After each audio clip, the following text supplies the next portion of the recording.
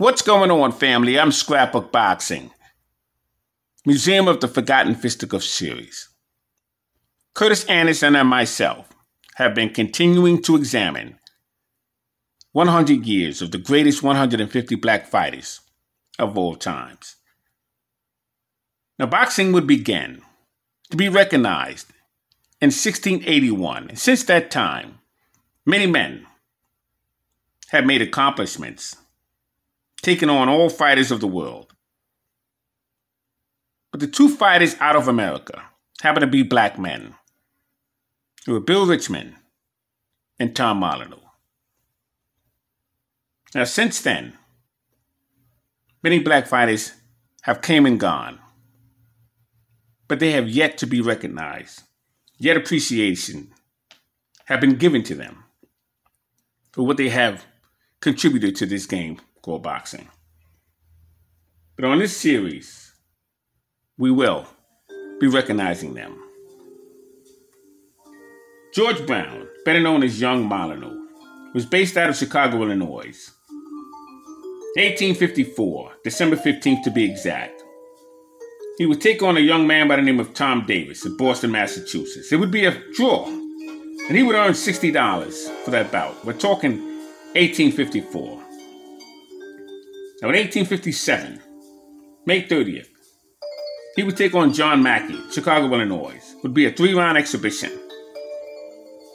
June 10th of 1857, he would take on Young Sambo, Chicago, Illinois, and that would also become recognized as a three round exhibition.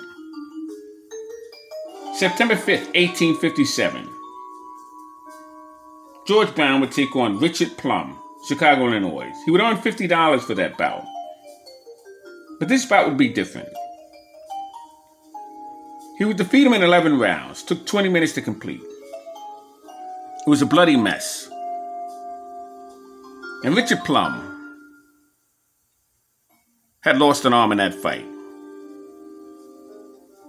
1858, July 26. George Brown would take on John Powers, Chicago, Illinois. That would also be a three round exhibition. But when he took on Annie Foster, 1859, July 4th, fought him in Cleveland, Ohio. His purse was $50. And this fight would go 45 rounds. Take him 33 minutes to complete. And you talk about brutal contests. That was a brutal contest. You see, George Brown would snap his wrist. He would be eye gouged.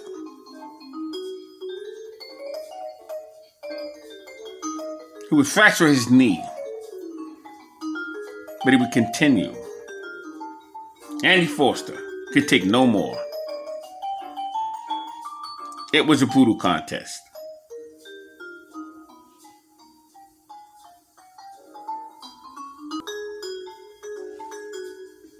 February 6, 1860, would take on Andy Forster once again. Him in Cleveland, Ohio. And he would win on a foul, 33 rounds. His purse was $25.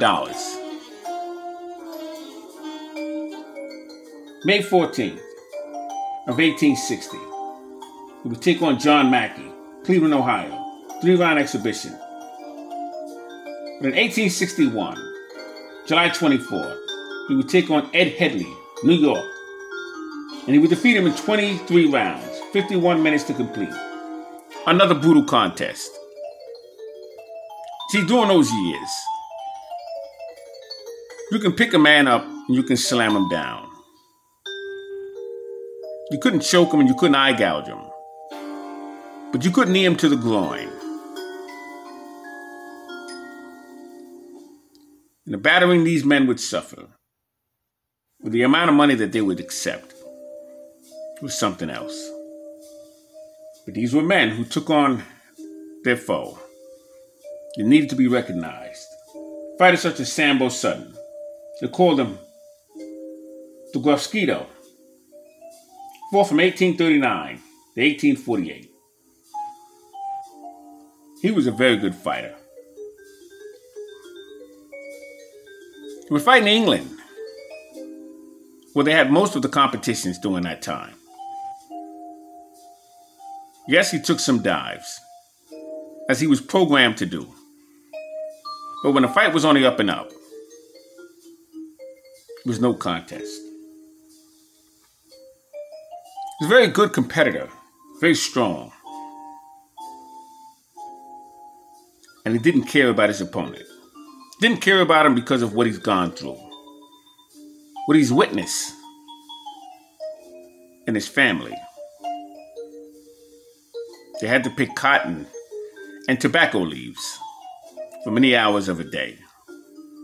So when he got a chance to, to fight another man, he made it count.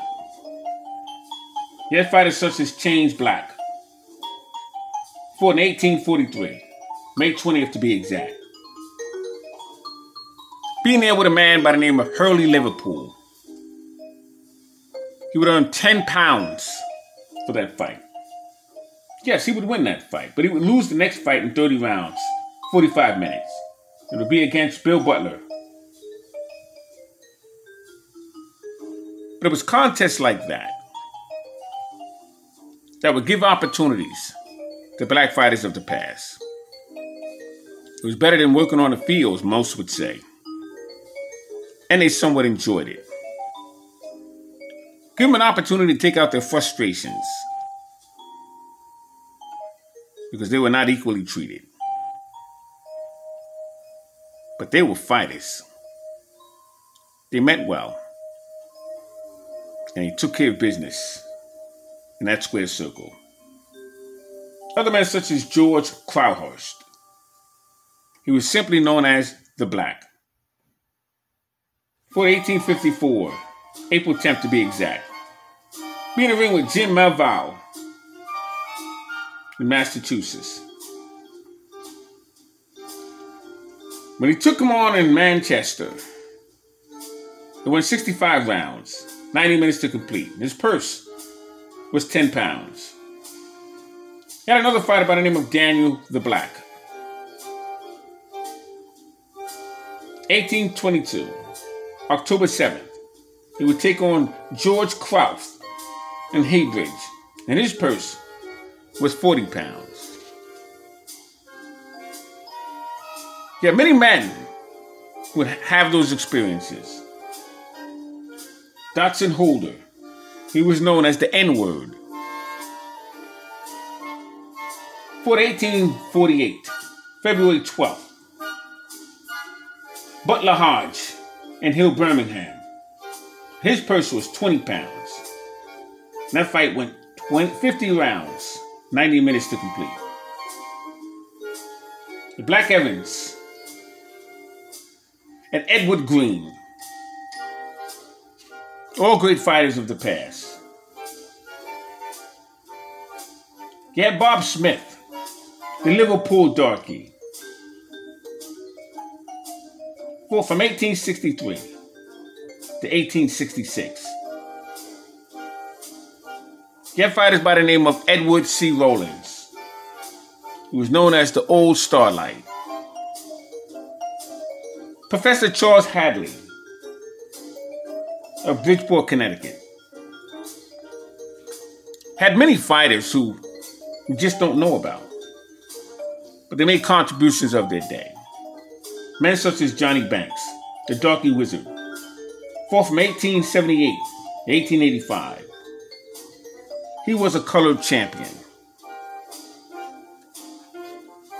George Godfrey, Old Chocolate. Yes, we talked about him. This bout that took 19 rounds to complete. He was in a ring with the Black Prince, Peter Jackson. Oh, what a fight that was. You also had Tom Molineaux, the Terrible Black, had an opportunity with Tom Cribb. 1810.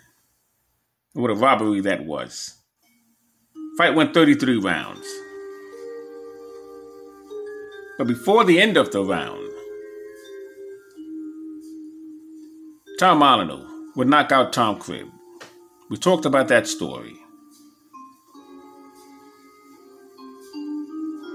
And Tom Cribb's charge would jump on Tom Molineaux, claiming it was a foul, claiming he had iron pellets in his fist. He stepped on his hand, hit him with a pipe in the back of his head. And this would give Tom Cribb opportunities to recover. There's many stories like this. Another story with Joe Lashley. They called him the African Black. He fought June 13th, 1843, against Tom Treadway And unfortunately, with Tom Lashley, he was thrown in hot boiling water because he didn't follow instructions. He was supposed to take somewhat of a dive, take it easy on his foe. Found it too easy to resist. And that's how he was punished. If you look at the movie Mandingo with Kenny Norton, in the scene where Man was thrown in water. He was basically pushed in water. They showed the scene as he backed up in the water. But that's what happened to a lot of the fighters at that time. And I just wanted to recognize some of the great names in turn of the century. George Maddox, Bill Richmond, the Black Terror, Scrapbook Boxing, behalf of Curtis Anderson, Museum of the Forgotten Fisticuff series wants to recognize these great black fighters, never getting the shine that they deserved. Men such as James Jim Robinson, the Ebony Ph- Phenomenon, or the Norky Black. He was born August 8, 1829. He died June 11, 1848, Manchester, England. He stood 5 foot 5 inches, weighed 122 to 126 pounds. 1846, he'd be in a ring with Jim Millwood in Manchester. That would be an exhibition. September 8th of 1846, he would take on James Evans, Manley Station. The fight would go 59 rounds. Took 59 minutes to complete. His purse was 50 pounds. 1847, March 9th to be exact. Jim Robinson would find himself in a ring with Johnny Peach Burton. His purse would be 60 pounds. It would go 58 rounds and took 109 minutes to complete. He would win all his fights, never lost one of them. You don't know much about him. Thanks for watching Scrapbook Boxing. Museum of the Forgotten Fisticuff series. All great fights and all great fighters. Will never be forgotten on my channel. Sam Robinson. We'll talk about him before we leave. He was born in New York, May 23rd, 1778. He stood six foot, he weighed 190 pounds. Fought 1816, January 11th to be exact, against a fighter by the name of Tom Clarkey. Defeated him in seven rounds. March 14, 1816.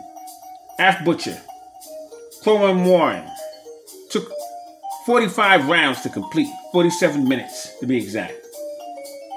His purse was 10 guineas. Oh, I'm telling you. Harry Sellers, born 1820. He stood 160. Uh, he weighed 160 pounds and he was just a very strong fighter. For 1858 against Joe Kitchen in Victorian Fields in Australia. He lost in 32 rounds. And he would earn 300 pounds. But that was a brutal contest. Thanks for hanging in with me. Until next time.